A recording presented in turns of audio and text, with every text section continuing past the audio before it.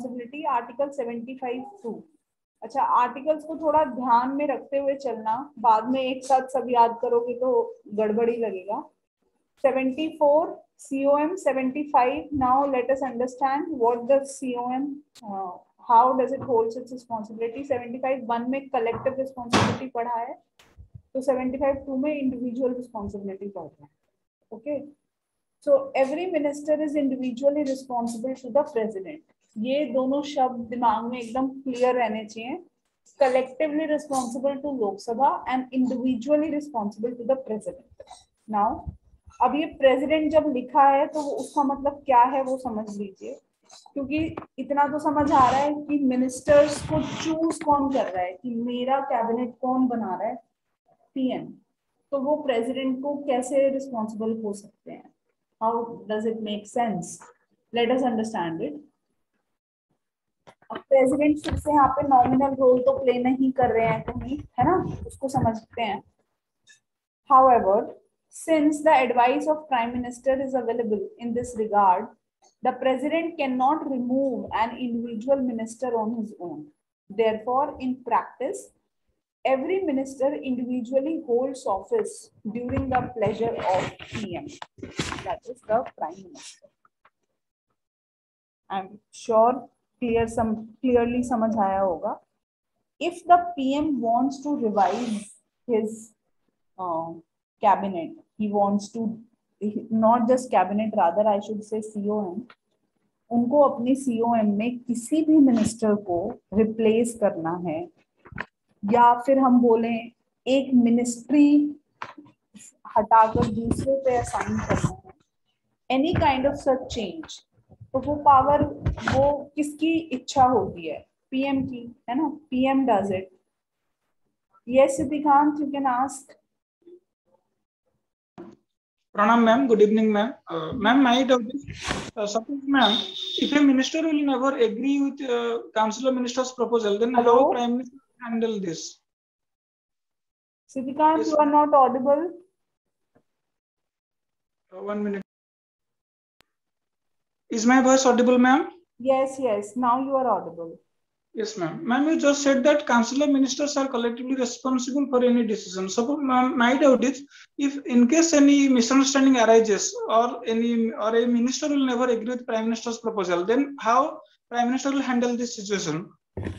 there can be this is a very uh, common situation that may arise and it it arises many a times the pm himself alone is not the one who is taking a decision authoritatively or dictatorially. ऐसा नहीं होता है कि PM जो decide कर रहे हैं कि पूरा सीओएम एक्स डायरेक्शन में चल रहा है और पीओएम ने कोई वाई डिसीज़न ले लिया। It is never the case case क्या रहता है? Because there are ten people तो जनरली क्या होगा कि मेजोरिटी जो कह रही होगी the decision is usually taken in that way अगर ऐसा नहीं है इन दैट केस क्या होगा?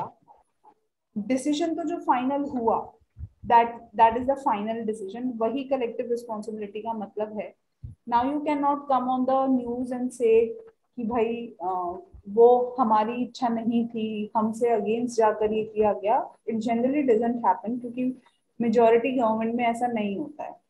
प्रॉब्लम है ma'am, coalition Can prime minister force any minister uh, to agree with uh, his proposal? if it is a decision taken in a meeting then yes that is a forceful decision you can say i do not i, I do not agree with this policy but all my other members have agreed then the सिर्फ़ मेरे वजह से वो decision तो ये नहीं है कि कैंसिल हो जाएगा डिसीज़न तो लिया जाएगा उस केस में मैं मुझे ये लगेगा that is my individual opinion वो मुझे लगेगा कि मेरे खिलाफ लिया गया है बट हम ऐसा नहीं बोल सकते because a single voice is also being put there with people's uh, choice and the others are also representing people's voice. तो वो वेटेज के अकॉर्डिंग डिसाइड करना पड़ता है। ऐसा कभी भी नहीं होता है ऐसा केस तो फिर पॉसिबल ही नहीं है ना कि all the ten people are saying nodding their heads to one say because there are different people there will भी डिफरेंट ओपिनियंस हर बार सिचुएशन अलग होती है। That is why the personality of P M ये हम आगे पी एम और पार्लियामेंट्री सिस्टम में पढ़ेंगे इज़ सो इम्पोर्टेंट सीओएम में जहाँ इतने सारे लोग होते हैं, ज़ाहिर सी बात है, ऐसा हो ही नहीं सकता है that all will say yes to yes और no to no because ministers जो हैं, उनका अपना व्यू पॉइंट रहता है। उनका सोचना हो सकता है इस पे इतना पैसा खर्च करने की ज़रूरत नहीं है। लेकिन जो भी मीटिंग का डिसीज़न होगा मीटिंग में आप कुछ भी बोल सकते हैं but once it is taken after that that decision is the final one then you can not then you have to abide yourself by it. इसी का मतलब कलेक्टिव रिस्पॉन्सिबिलिटी है। Okay yes ma'am yes ma'am I understand thank you ma'am हमें तो ये लगेगा कि हम पे फोर्सफुली हम तो नहीं चाहते हैं हमको फोर्सफुली तुम नहीं चाहते हो पर तुमसे ज़्यादा नंबर ये चाहता है। और काम हमेशा मेजोरिटी के ही अकॉर्डिंग होगा हो, होता है। वरना तो फिर कभी डिसीजंस ले ही नहीं पाएँगे। The working will be zero government कुछ कर नहीं पाएगी। Yes i i was explaining this. I'm coming to it tanya.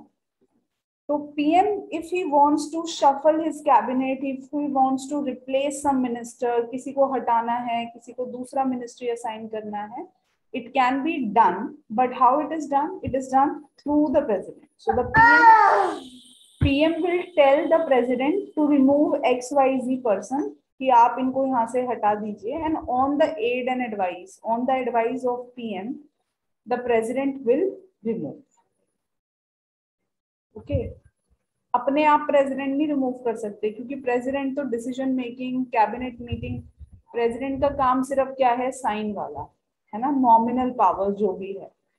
तो अगर आपकी और पीएम की नहीं बन रही है ज़्यादा तो आप इस केस के लिए भी रेडी रहिए। तो पीएम को अगर लगेगा कि आप हर बार मना करते हो, काम में टांग अड़ा रहे हो, काम होने नहीं दे रहे हो then he also has the power to remove you from COM what will he do he will ask the president to say to remove you and through the route of president you will be removed तो इसको क्या बोला गया कि individually आपका removal ministers का removal किसके हाथ में है? प्रेसिडेंट के हाथ में है। हाउएवर वो प्रेसिडेंट की इच्छा, पूरी प्रेसिडेंट की इच्छा नहीं है। It is on the pleasure of PM तो इसको इसलिए बोला गया है individually responsible to the president okay So the purpose of individual responsibility is to maintain collective responsibility of the COM as when individual minister disagrees with the decision of COM and refuses to resign.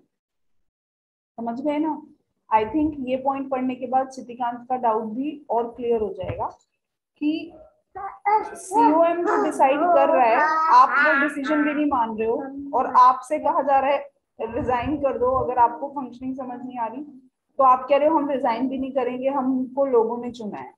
तो फिर PM आपको बताएगा कि लोगों ने हमें चुना है, हमें भी लोगों ने ही चुना है और हम प्राइम मिनिस्टर हैं तो हम अब आपको बता देते हैं कि पीएम के पास क्या होता है। Then using 75 two he will ask the president to remove you from the CO और फिर हम कंसेंसस अचीव कर सकते हैं ऑन एनी डिसीज़न क्लियर